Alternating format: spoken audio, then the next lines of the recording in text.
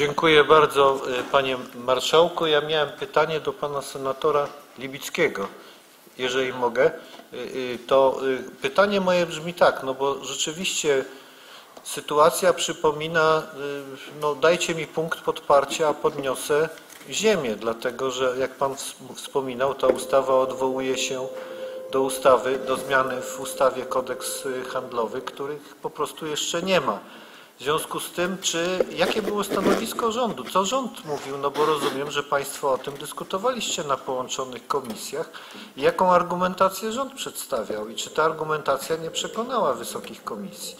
Dziękuję. W tym ja- zakresie, żeby jednak Dobrze, ja, procedować. ja bym powiedział tak, no, ogólnie rzecz ujmując, e, stanowisko rządu określiłbym w ten sposób, że zdążymy, że tu warto to przyjąć, bo to przecież jest tylko realizacja pewnej dyrektywy Parlamentu Europejskiego i Rady, a tak naprawdę te wszystkie przepisy się e, złożą ze sobą, ze wszystkim zdążymy i w związku z tym, jak już dojdzie do tego, że będzie to e, obowiązującym prawem, to na pewno nie będziemy mieli sytuacji, w której ustawa będzie odwoływać się do ustawy, która nie istnieje i że tak naprawdę w procesie legislacyjnym ze wszystkim uda się zdążyć. Tak bym powiedział, ale myślę, że warto jest stronę rządową o to jeszcze dopytać i to panu senatorowi radzę.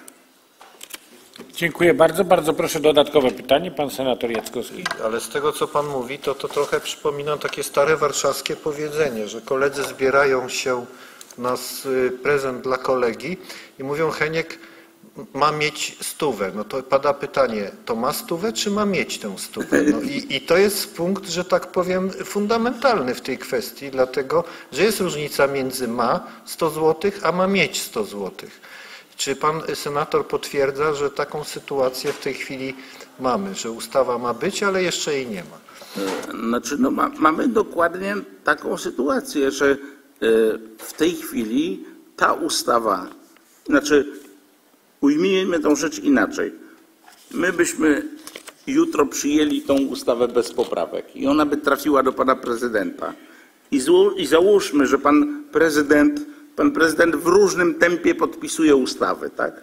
Ale załóżmy, że ona jutro jest wysłana do pana prezydenta i pan prezydent pojutrze, czyli w piątek, podpisuje tą ustawę. To wtedy ta ustawa będzie w niektórych swoich fragmentach odwoływać się do przepisów ustawy, która jeszcze przez Sejm nie została uchwalona. Jak to e, przyłożyć do sytuacji Henika, e, którą pan senator tutaj zacytował, to już pozostawiam inwencji pana senatora, która z całą pewnością jest na tyle twórcza, że pan senator sobie z tym poradzi. Dziękuję, Dziękuję bardzo. bardzo. Panie senatorze, widzę, że nie ma więcej pytań.